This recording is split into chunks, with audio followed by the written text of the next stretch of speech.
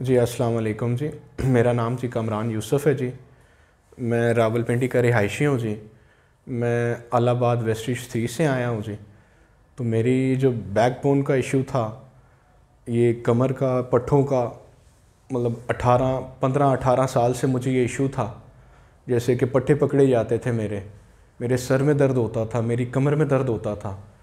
तो उससे तो अभी माशाल्लाह जब मैं यहाँ पे आऊँ मैंने ट्रीटमेंट लिया है कैरोप्रैक्टर से। आमिर शहजाद साहब से, जी। तो मेरे छः सेशन हुए हैं, जी। तो मैं काफ़ी बेहतर महसूस कर रहा हूँ, जी। तो मैं यही कहूँगा कि आप जो लोग डॉक्टर के पास जाते हैं, इससे पहले कि मैं डॉक्टरों के पास गया, उन्होंने मुझे बहुत लंबा एक बिल बना के दे दिया कि इतने पैसे आपके लगेंगे, जी। तो उसमें रिस्क वाली बात होती है, जी। ये हड्डियों की एडजस्टमेंट है। प्रॉपर अगर कोई आता है, अगर किसी की हड्डी या डिस्क का जो आगे पीछे कोई इशू होता है तो वो उसको अपनी जगह पे करते हैं, जी, ये लोग। तो ये कैरोप्रैक्टर है, खैर, इसकी मतलब एक बहुत अच्छा ट्रीटमेंट है। मैं पहलवान के पास गया, मैं बहुत सारे डॉक्टर्स के पास गया, लेकिन मुझे मेडिसिन देते थे। बस फ़र्क मुझे पड़ जाता था, लेकिन प्रॉपर इसका कोई हल नहीं था।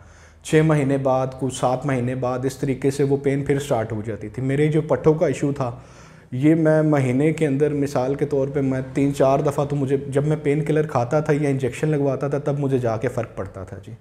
तो ये मेरी लात काम करना छोड़ गई थी।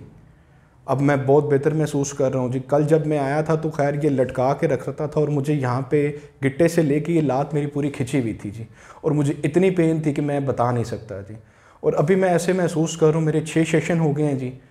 ठीक है, ये लोग जहाँ भी जाते हैं, अपने पैसे बर्बाद करते हैं, लोगों की बातों में आ जाते हैं, एक प्रॉपर हल है कैरोप्रैक्टर जी, इनकी इन्होंने पढ़ाई की हुई है, इन्होंने स्टडी की हुई है, जैसे कि ये पलवान है, इन्होंने कुछ पढ़ा नहीं होता, वो सारे डॉक्टर्स हैं, वो आपको इतना बिल पाँच लाख का, चार लाख का छः लाख का बिल तो बना देते हैं, लेकिन वो उसका प्रॉपर कोई हल नहीं है, ठीक है जी?